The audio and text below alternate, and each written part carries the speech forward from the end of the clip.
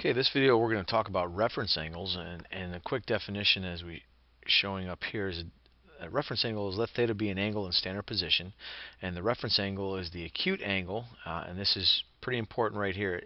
Your reference angle is always going to be an acute angle less than 90 degrees formed by the terminal side of theta and the horizontal axis. So there are rules for each quadrant. Uh, for a reference angle. The easiest one is quadrant 1. Uh, the rule is itself. So if I gave a reference angle for the 60 degree angle, then it's just 60 degrees. Or if we're in radians pi over 3, uh, then pi over 3 is the reference angle. So for instance, also if I said, all right, what's the reference angle for pi over 4? Well, then the reference angle is going to be pi over 4. So no work really involved for quadrant 1. Uh, so let's move on to quadrant 2 for quadrant 2, uh, we'll be able to visualize what a reference angle is here a little bit more.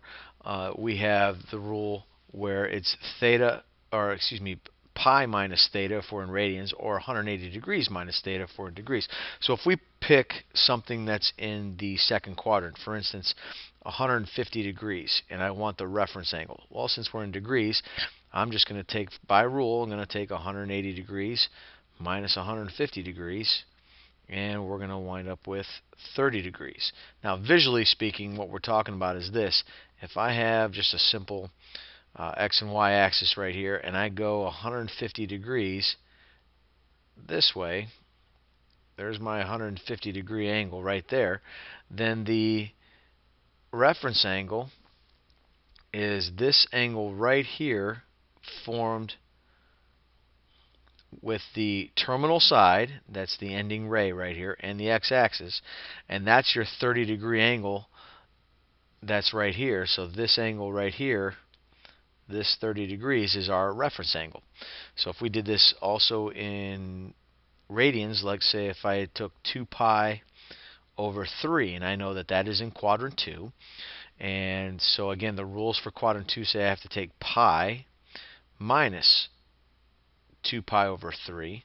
So I got to get a common denominator, so I'll go with the 3 on the bottom and the 3 on the top. So 3 pi over 3 minus 2 pi over 3 is going to wind up being pi over 3. And again, notice that our answers, the 30 degrees and this pi over 3, those are acute angles. So that's what you have to make sure of for that. And then moving on here, let's figure out now what do we have for quadrant 3. Quadrant 3, the rules are stated that you have to take the angle minus pi if we're in radians or the angle minus 180 degrees if if we're in degrees. So picking an angle such as 210 degrees by rule they say that I have to take 210 degrees minus 180 degrees and I get 30 degrees. And again, visually speaking,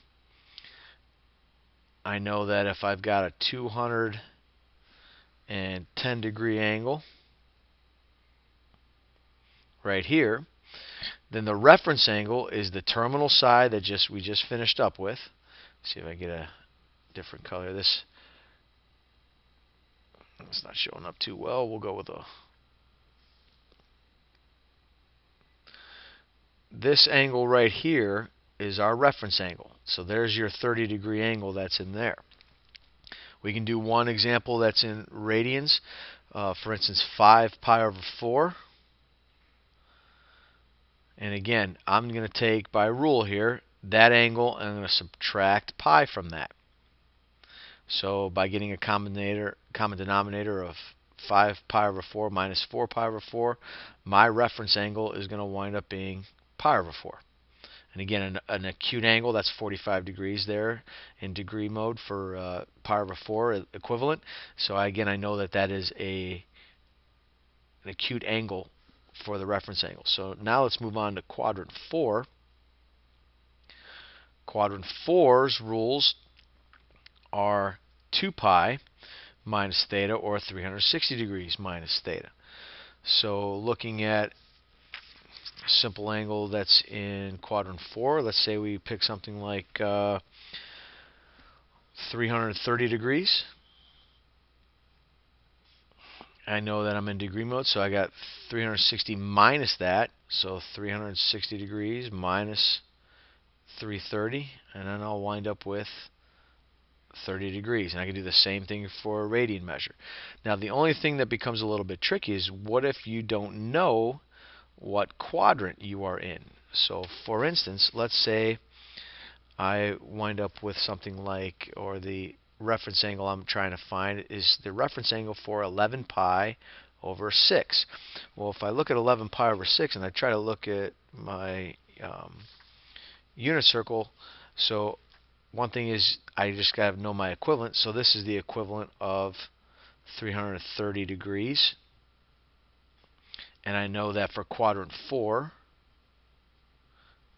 similar to the one we just did there, or exactly the same one. So I could take 360 minus 330, and I know that it's 30 degrees. So I got to know my equivalents uh, if I don't know that one. Or if I have something that's actually bigger uh, on the unit circle, such as something like 15 pi over 4. Now, if I look at my unit circle, I know 15 pi over 4 is not on there, so I'm actually going to have to find a coterminal angle. And if we remember from the earlier part of trig, a coterminal angle, uh, you have to add or subtract 2 pi to that. So if I'm going to take 15 pi over 4 and I subtract 2 pi from this, again getting a common denominator, so that's going to wind up actually being 8 pi over 4. So 15 minus 8, that's going to be 7 pi over 4. 7 pi over 4 is actually on your unit circle. That's the equivalent of 315 degrees. And my rule again for quadrant 4 means that I have to take 2 pi minus 7 pi over 4. So I got to get a common denominator of 4. That makes that 8 pi over 4. So my reference angle actually winds up being pi over 4 for my answer. So there's the rules and some examples that go with reference angles.